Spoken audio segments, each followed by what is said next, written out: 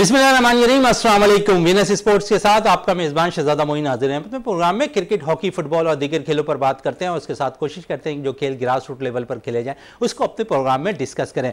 पाकिस्तान इस cricket team के हवाले से अगर बात करें तो पाकिस्तान क्रिकेट टीम इस वक्त सैफरी की क्रिकेट टूर्नामेंट खेलने के लिए न्यूजीलैंड में मौजूद है, जहाँ पाकिस्तानी जो कप्तान है वो बाबर आज़म कहते हैं कि सीरीज़ जीत कर हम जो है ऑस्ट्रेलिया में जो वर्ल्ड कप खेला जाना है, उसके लिए भरपूर तौर पर जो है तैयारी करते नज़र आ रहे हैं। दूसरी तरफ़ अगर बात करें पाकिस्तानी बैटर्स के हवाले से तो पाकिस्तान के बैटर्स इस वक्त की, जिस किस्म की कारकर्दगी और मिडिल ऑर्डर की देखी जाए तो वो नाखिस कारकर्दगी अब तक देखी जा रही है।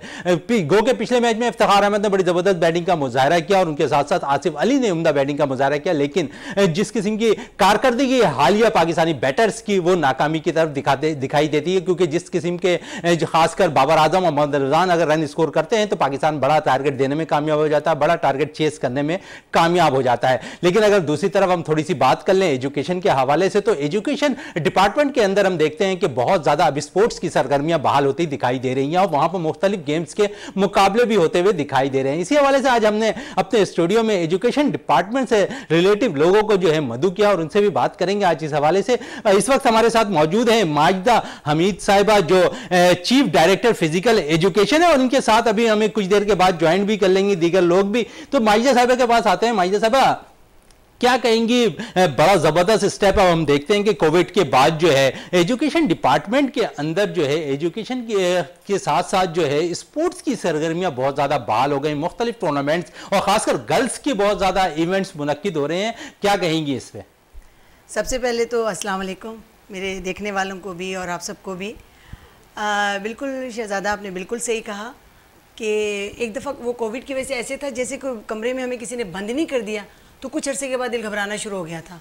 तो ये हमारी गवर्नमेंट ने, हमारे एजुकेशन डिपार्टमेंट ने बहुत अच्छा स्टेप लिया कि उन्होंने एजुकेशन के साथ साथ ज़्यादा उन्होंने फोकस किया है एक्स्ट्रा कैरिकुलम एक्टिविटीज़ पे, जिसमें उन्होंने सबसे ज़्यादा फोकस रखा है स्पोर्ट्स को।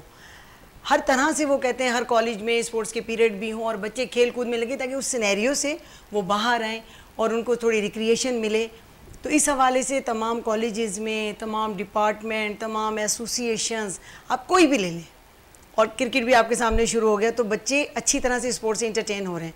और हम जितने भी डायरेक्टर्स हैं, अपनी सतह पे, अपने कॉलेजेस में मतलब हम खुद भी करना चाह रहे हैं, क्योंकि हम भी उसी से गुजरे हुए हैं। हमें भी बेचैनी है कि ज़्यादा से ज़्यादा खेल होने चाहिए, लेकिन हम पे हमारे डिपार्टमेंट का प्रेशर भी है। कि आप ज़्यादा से ज़्यादा बच्चों को मोटिवेट करें ताकि एक हेल्दी एक्टिविटीज़ की तरफ़ हम जाएँगे तो उसके रिज़ल्ट अच्छे हो। बिल्कुल हेल्दी एक्टिविटीज़ की तरफ़ जाएँगे तो रिज़ल्ट भी अच्छे अच्छे होते हुए नज़र आएँगे। माजदा, हमीद साहिबा खासकर हम जो हम देखते हैं कि एजुकेशन के साथ साथ जो हम खातन जो है बहुत ज़्यादा एक्टिव नज़र आ रही है। अब खेलों की सरगर्मियों के अंदर अगर हम उस पर बैडमिंटन की बात करें क्रिकेट की बात करें हॉकी भी अब अब देखते हैं कि बहुत ज़्यादा अब लड़कियाँ के अंदर शौक पैदा हो रहा है कि हॉकी भी खेलें। तो ग्राउंड से बहुत से कॉलेजेस के अंदर ग्राउंड्स का भी बड़ा फुकदान है। क्या कहेंगे इस पर लेकिन गर्ल्स के लिए तो छोटा सा एक अगर जगह भी मैसर हो जाए वहाँ पर हॉकी के लिए तो वहाँ पर भी हॉकी प्लेयर्स अच्छे निकल सकते हैं। देखिए, मेरा इस बारे में कहना ये है कि कॉलेजेस में प्रॉपर बहुत सारे कॉलेजेस में इतना ग्राउंड नहीं है, लेकिन है। मगर हर एक खेल की अपनी टेक्निकल थोड़ी सी वो इश्यूज़ होते हैं कि हम आपने किस ग्राउंड पे क्या खिलाना है। अब अगर वॉलीबॉल है तो या तो हमें वो वुडन चाहिए, या वो हमें कच्चा चाहिए। अगर वहाँ पे किसी कॉलेज में ज़्यादातर पक्के ग्राउंड बने हुए तो वो हमारे लिए इतने फिर हमारी फेवर में नहीं होते।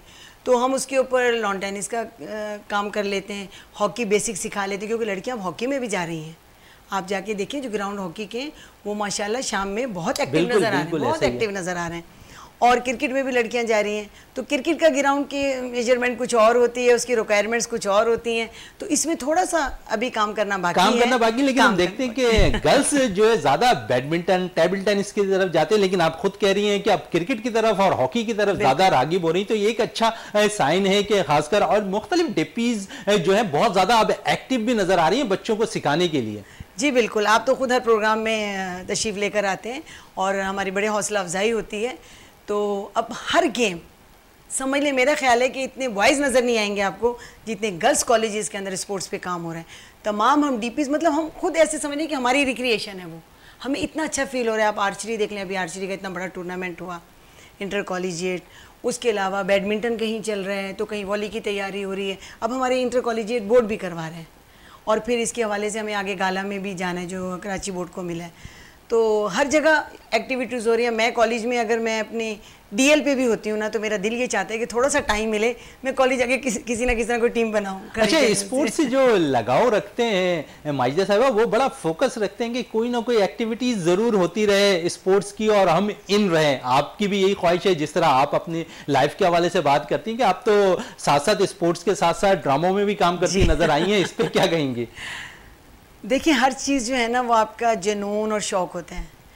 जब मैंने अपनी एक्टिंग शुरू की है, मैंने बेसिकली मैं रेडियो से आई हूँ तो वो मेरा ख्याल है एट्थ या नाइन्थ में मुझे शौक़ था कि अंदर मेरे शायद कोई आर्टिस्ट था और वो छोटा सा एक आपसे शेयर करूँगी मैं कि नैर सुल्ताना की कोई नैर सुल्ताना साहब बहुत बड़ा नाम है, उनकी कोई फ़िल्म चल रही थी और उसके बाद मुझे पता चला इनकी डेथ हो गई।